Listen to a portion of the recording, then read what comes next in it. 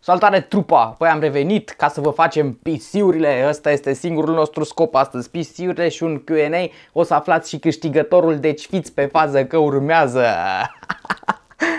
Mai trecem la chestii puțin mai serioase. Dacă habar n-aveți despre ce vorbesc și vi se pare că am luat-o doar razna, aveți aici un clip, vă las linkul în descriere. Acolo să aflați detalii despre ce urmează să fac acum. Mai multe detalii mi-am spus în clip. Și pentru că data trecută m-am potmolit la cooler, nu am avut un cooler adecvat pentru platforma aleasă. Oh, frate, e compatibil numai cu AM4. Acum cu asta o să începem. Am ales să merg pe coolerul ăsta pe care îl aveam pe aici prinăuntru. Este un Ride Prism de la AMD, este un cooler standard pe care îl primiți la procesoarele de la AMD. Ăsta cred că este de la un Ryzen 7 3700X. L-am de ceva timp, este absolut nou nouț. Modificările pe care o să le fac sunt uh, este una și anume îl fac alb. Nu știu cum exact pentru că are aici așa un cerc de LED-uri, este un LED ring care luminează acolo frumos și are tot felul de efecte și pe care aș vrea sincer să-l păstrez. Dar pentru că este foarte mic, o să-mi fie, este foarte subțire, o să-mi fie greu să îl maschez la vopsit. Deci cred că o mai bună metodă ar fi înfolierea.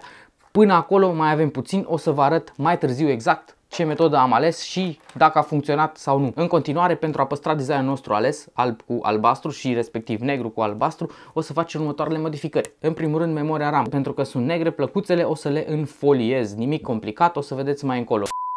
Și au mai trecut câteva zile, dar între timp m-am hotărât. O să-l vopsesc, coolerul mă refer. Și pentru asta a fost nevoit mai întâi să îl demontez. Și crede-mă frate, nu s-a lăsat ușor demontat. Sunt trei părți fiecare cu cleme prinse între ele și cu șuruburi. Pe lângă astea mai sunt și părțile de circuit, plăcile integrate pentru LED-uri care erau prinse cu dublu adezivă. Dar am reușit să-l demontez fără să rup ceva, iar astea sunt cele două piese care o să vină vopsite. În primul rând l-am curățat cu cârpă antistatică, iar apoi cu alcool isopropil înainte de vopsire. Și ăsta ar fi rezultatul final. Mergem mai departe cu micile noastre personalizări și trecem la memoria RAM. V-am spus data trecută, o să le înfoliem. Pentru asta tot ce trebuie să fac este să le aflu dimensiunea, adică le măsor. Măsor mai departe și bucățile de folie pe care trebuie să le tai, le tai și aplic folia cu pistolul cu aer cald. Rezultatul vorbește de la sine. Sunt simple, dar o să fie de efect în buildul nostru alb.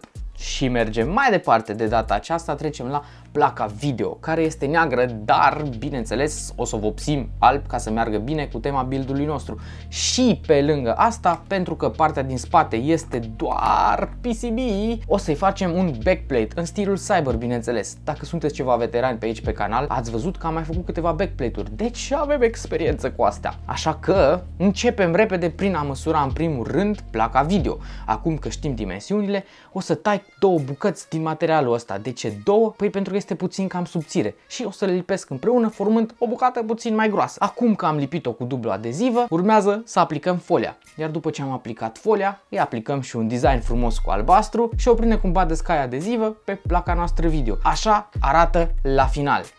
Partea din față minunată, partea din spate absolut superbă. Deci cum o să iasă PC-urile astea? Uh, dar ne, ne apucăm să le construim, mai avem încă ceva de făcut. Sursa. La fel primește și ea o foliere micuță și simplă, dar care o să arate foarte bine prin tăietura de la subsol. O să meargă perfect cu cablurile noastre albastre.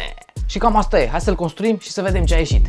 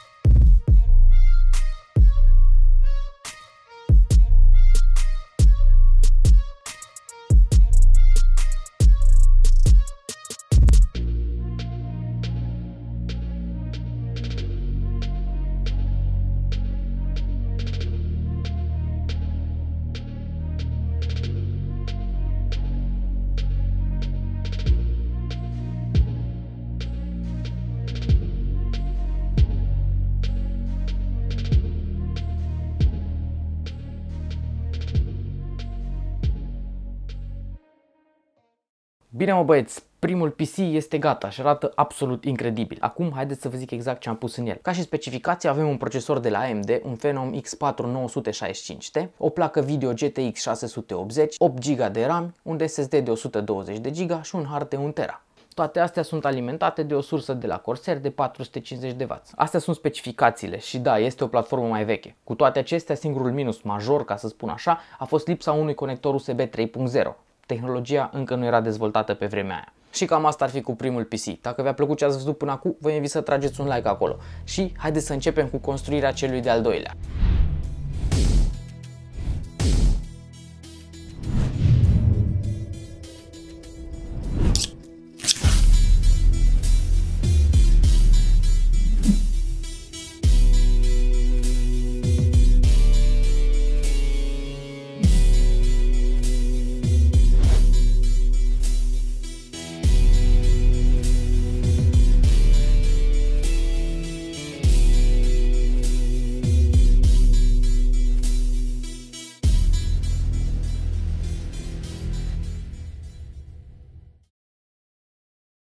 Specificațiile sunt în mare parte la fel, cu câteva mici diferențe în ceea ce privește procesorul, care la ăsta este un Phenom X6 1090T, avem o placă video puțin mai slăbuță, un GTX 660 și avem 16 GB de RAM. Așa că, fără să vă mai țin în suspans, haideți să vedem cei doi câștigători a celor două PC-uri. Să vedem, ăsta este clipul. Pick a winner cu aceste cuvinte. Hashtag vreau PC. Deci, înainte să dau click, pentru primul PC, pentru PC-ul alb, câștigătorul va fi, sau este, Rareș Balk.